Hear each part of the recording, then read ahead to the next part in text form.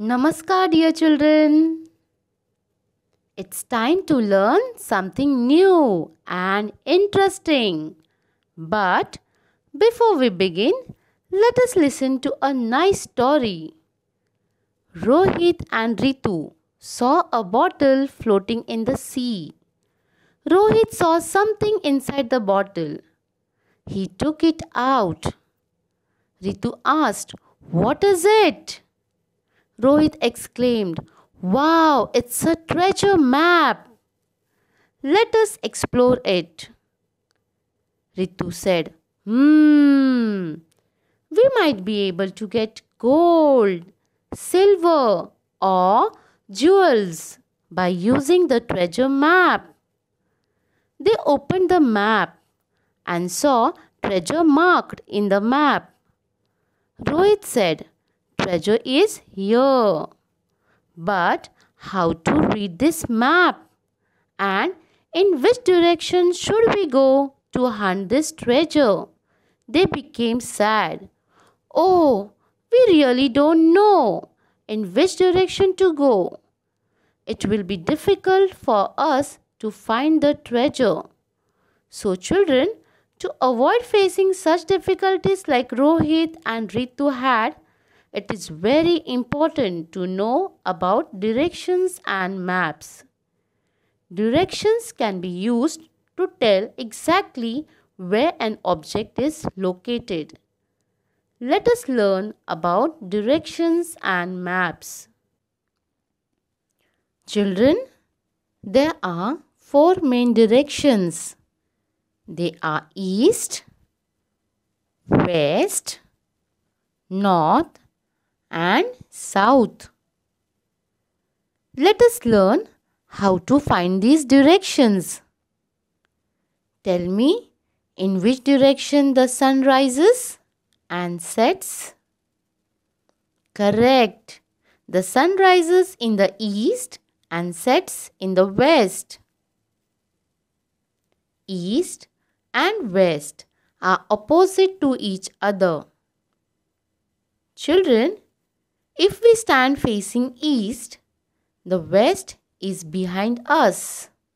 At that time, the north is to our left and the south is to our right. We have learned how sun is used to find out directions. But do you know children? Not only sun but also magnetic compass is used to determine directions. Can you see the movement of needle in this compass? Yes, this is a magnetic needle and it always lies in the north-south direction. Let us do an activity. Observe this picture carefully. You can see the sun rising in the picture. Now tell me in which direction the tree is located? Yes, it is in the east. Now tell me in which direction is the house located? Yes, it is in the west because east and west are opposite directions. Tell me children, in which direction the bank is located? Yes, it is in the south because south always lies to the right of the east. Wow! An ice cream shop. Where is it located?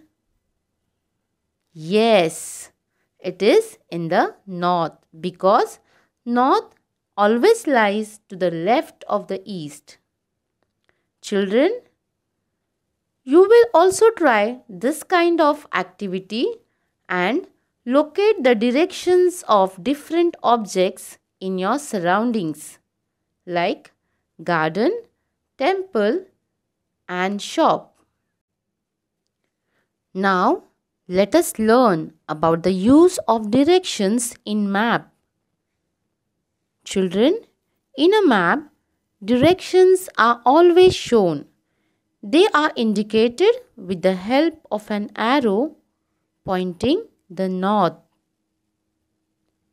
Here, this symbol N means north.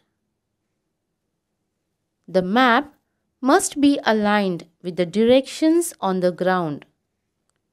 It means the directions on the map have to be matched with the directions on the ground.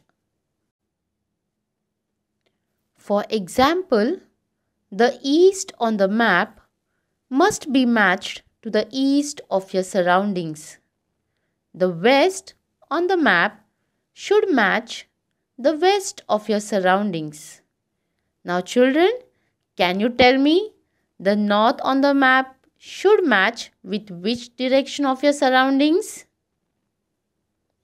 Yes, the north on the map should match with the north of your surroundings.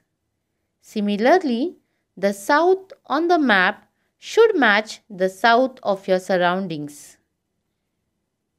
Children, use this method while reading the maps in your textbook too.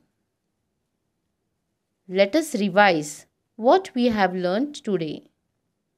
There are four main directions east, west, north, and south. In a map, directions are always shown. They are indicated with the help of an arrow pointing north. The directions on the map have to be matched with the directions on the ground.